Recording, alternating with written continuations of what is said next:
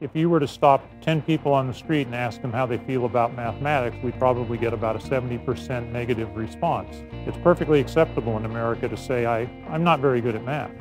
But over and over again in my class, I've had kids who claimed that they were not any good at math say that this is the first class where I've been successful.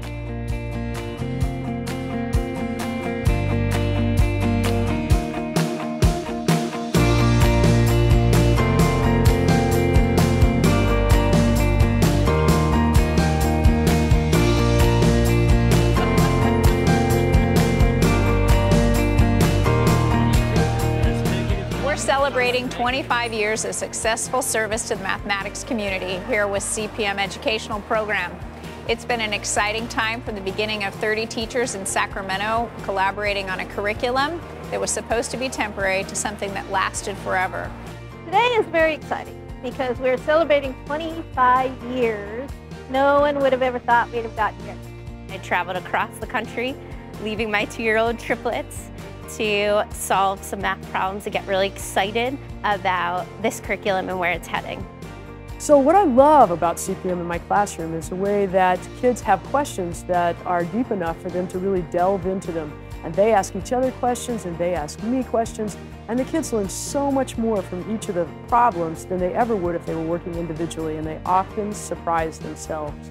I really enjoyed the, the getting the kids excited. They were, when, when their butts get up in the air, as I call it, and they start communicating with each other, but they're up on the table, they're over the top, they're trying to get their idea across to somebody else and push into it. That's when I know I'm on the right track. When you see students grapple with deep, rich problems, and they come out and go, I don't really know, I don't know, but the, wait a minute, wait a minute, I got it. And I can, this is how I got it. It's just, it's just so rewarding.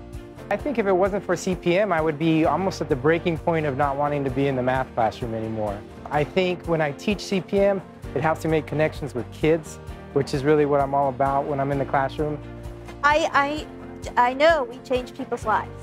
And there are a lot of people out there who go through life hating math and hating the subject, hating what they're doing in class, hating their math teachers and thinking there's no point or relevance to it. And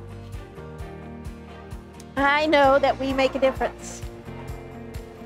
And if you don't do that with your life, then what's the point?